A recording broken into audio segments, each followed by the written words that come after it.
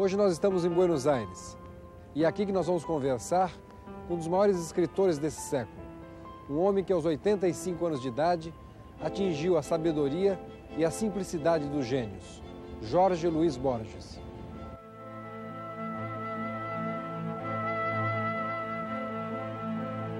Borges, provavelmente o maior escritor vivo da atualidade. Como em seus contos, em que existe quase sempre personagens atingidos pelo destino, Borges é vítima de uma cegueira progressiva que lhe tirou a visão há mais de 30 anos. Impossibilitado de ver o mundo, passou então a recriá-lo, com a ajuda de sua memória e de sua inesgotável imaginação. É de sonhos e pesadelos, das lembranças dos livros de infância e de antigas viagens, que Borges construiu a matéria-prima de seu novo universo.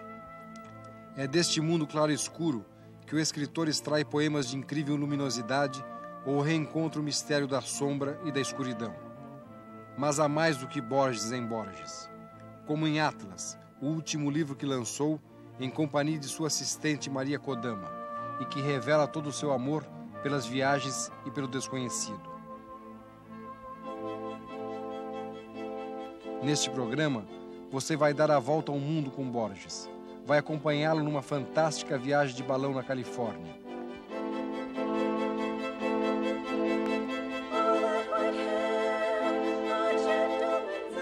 Vai andar de gôndola nos canais de Veneza e descobrir os mistérios do Japão.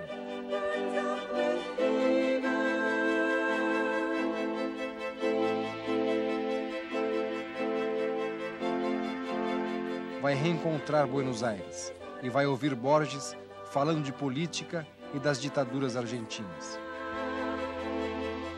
Borges mora neste prédio da rua Maipú, no centro de Buenos Aires. Foi se lembrando de suas memórias que começamos a conversar.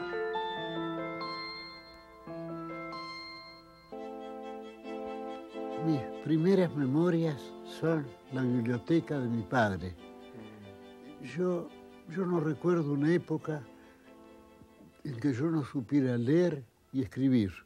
Ahora, mi padre era profesor de psicología. Él me dijo que la memoria alcanza hasta los cuatro años. Decir, que yo he aprendido a leer y escribir entre los tres y los cuatro años. La biblioteca de mi padre era esencialmente de libros ingleses.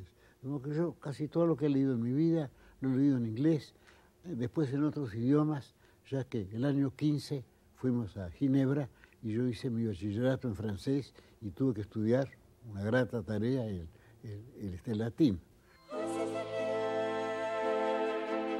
Genebra. A esta cidade, diz Borges, devo a revelação do francês, do latim, do alemão, do expressionismo, do budismo e da nostalgia de Buenos Aires. E também do amor, da amizade e da tentativa do suicídio.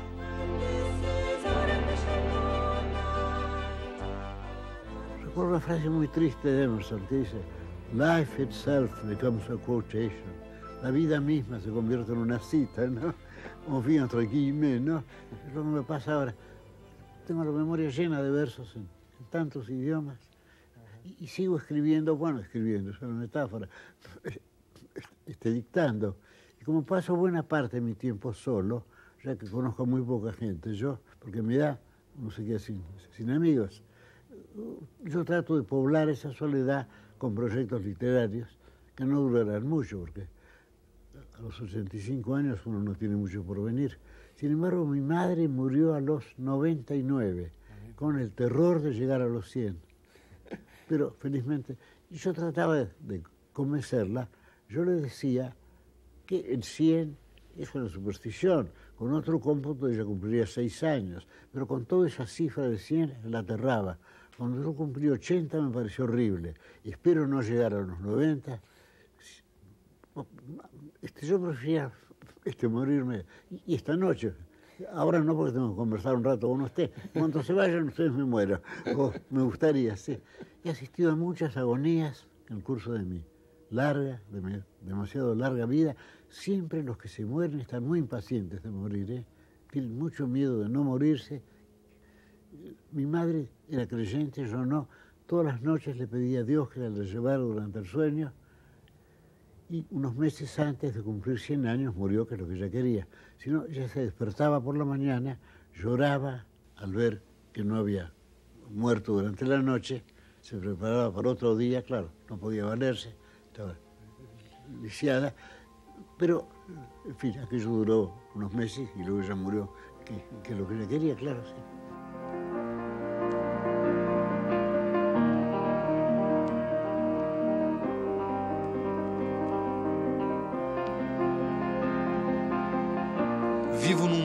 Cores, costuma dizer Borges.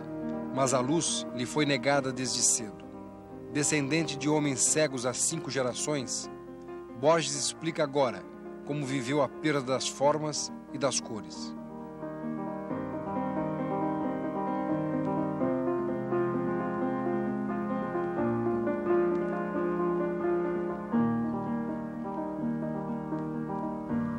Uno de los primeros colores que uno pierde es el negro.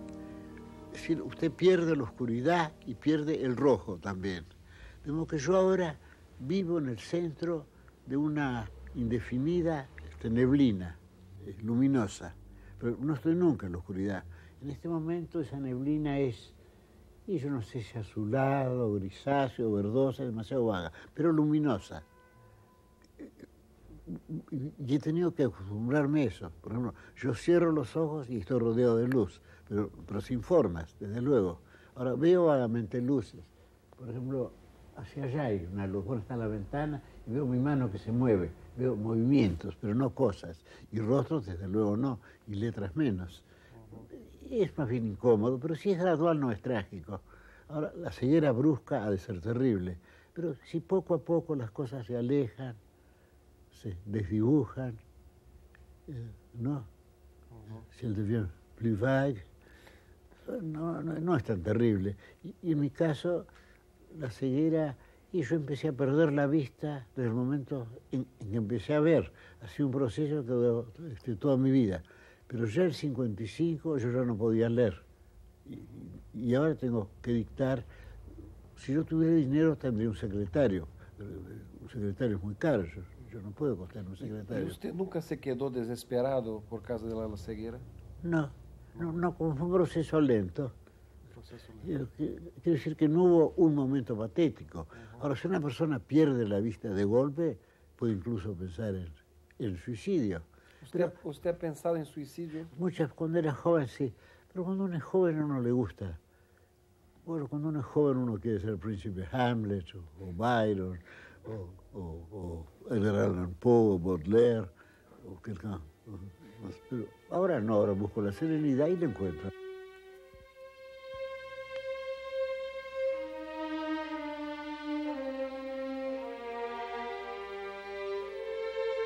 Veneza, ponto de encontro do Oriente e do Ocidente. Na prosa de Borges, o crepúsculo de Veneza, espelho da serenidade que o escritor diz ter encontrado.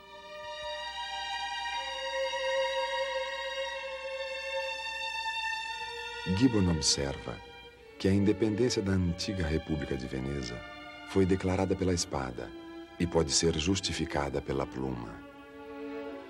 Pascal escreve que os rios são caminhos que andam. Os canais de Veneza são os caminhos por onde andam as enlutadas gôndolas que têm algo de enlutados violinos e que também lembram a música porque são melodiosas. Alguma vez escrevi em um prólogo Veneza de cristal e crepúsculo. Crepúsculo e Veneza, para mim, são duas palavras quase sinônimas.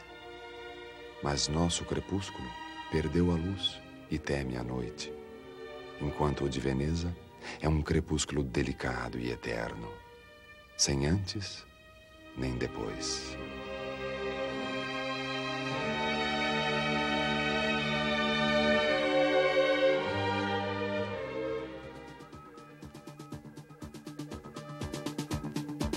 A seguir, uma fantástica viagem de balão com Jorge Luiz Borges.